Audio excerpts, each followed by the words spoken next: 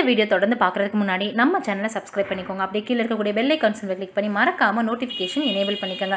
தமிழகத்தை தாக்கக்கூடிய நிவர் புயல் வந்து இன்றிலிருந்து மூணு நாட்களுக்கு எங்கெங்க பெய்ய போகுது அப்படின்றத பற்றி தான் இந்த பதிவில் பார்க்க போகிறோம் தமிழகத்தை வரக்கூடிய இருபத்தி ஐந்தாம் தேதி நிவர் புயல் வந்து தாக்க இருக்கிறதா? அதுவும் அடுத்த மூன்று நாட்களில் எங்கெங்கே வந்து மழை பெய்ய போகிறதாகவும் தகவல்கள் வந்து வெளியாகி இருக்கு. தமிழகத்தில் வடகிழக்கு பருவமழை வந்து உச்சம் பெற்றிருக்குன்னு சொல்லலாம். இன்னையிலிருந்து மழை தீவிரம் அடைய போகுதுன்னு வானிலை ஆய்வு மையம் சொல்லியிருக்கிறாங்க.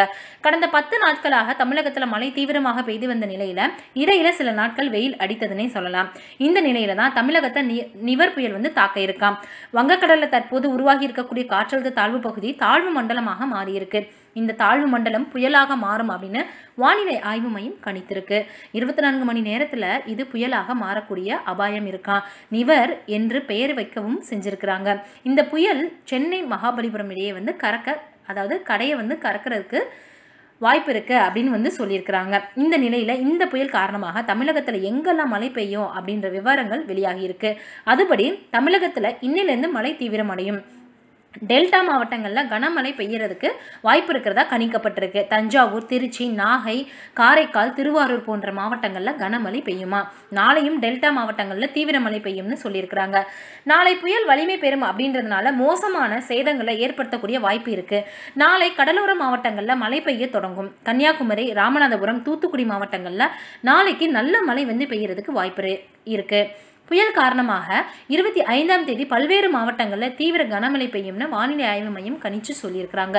டெல்டா மாவட்டங்கள் கடலோர மாவட்டங்கள்னு தமிழகம் முழுக்க பரவலாக மழை பெய்ய வாய்ப்பு இருக்கு.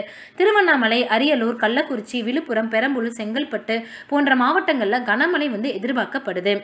இந்த மாதிரியாக தகவல்கள் வெளியாகி இருக்கு.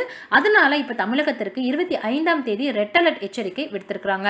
இதன் காரணமாக திருவண்ணாமலை அரியலூர் கள்ளக்குறிச்சி விழுப்புரம் பெரம்பலூர் செங்கல்பட்டு மாவட்டங்களில் இருபத்தி ஐந்தாம் தேதி வரைக்கும் தீவிர கனமழை பெய்ய வாய்ப்புகள் இருக்கு. புயல் கரையை கடந்ததுக்கு அப்புறமா தான் சென்னையில வந்து நல்ல மழை பெய்யும்னு எதிர்பார்க்கப்படுது. இந்த புயல் காரணமாக சென்னை பெரிய அளவில் பாதிக்கப்படுறதுக்கு வாய்ப்புகள் இருக்கிறதா சொல்லியிருக்கிறாங்க. சென்னையில ஏற்கனவே ஏரிகள் எல்லாமே நிரம்பி இருக்கு. இந்த நிலையில இருபத்தி ஐந்தாம் தேதியும் மழை மழை காரணமாக பெரும்பாலான ஏரிகள் வந்து முழு கொள்ளளவை வந்து எட்டுறதுக்கு வாய்ப்பு இருக்குன்னு ஆராய்ச்சியாளர்கள் சொல்லியிருக்கிறாங்க. ஆக மொத்தத்தில் நம்மளுக்கு ரெட் அலர்ட் விட்டுருக்குறாங்க. மக்கள் எல்லாருமே கொஞ்சம் உஷாராக இருக்கணும்.